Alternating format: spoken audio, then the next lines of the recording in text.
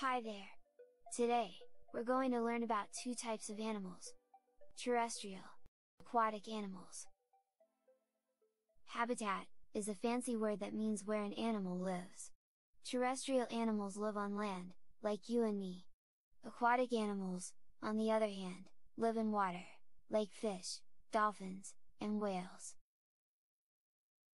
Species, is another big word, that means a group of animals that share similar characteristics.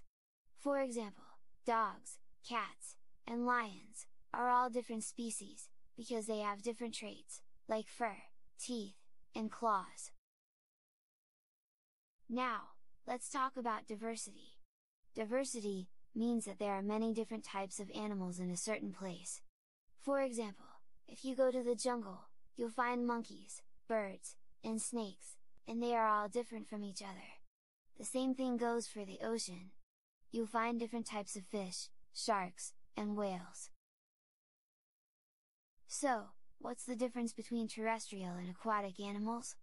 Well, terrestrial animals, have adapted to live on land. They have legs, or wings, to move around, and they breathe air through their lungs. Aquatic animals, on the other hand, have adapted to live in water.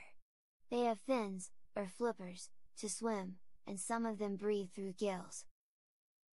Terrestrial animals also have to find water to drink, while aquatic animals can just drink, or absorb the water around them. Some aquatic animals, like fish, have to constantly swim, to get the oxygen they need to survive, while terrestrial animals can take a break, and just breathe. In terms of diversity, there are many different types of terrestrial animals, like mammals, birds, reptiles, and insects. Aquatic animals also have a lot of diversity, from small creatures like plankton, to big ones like whales.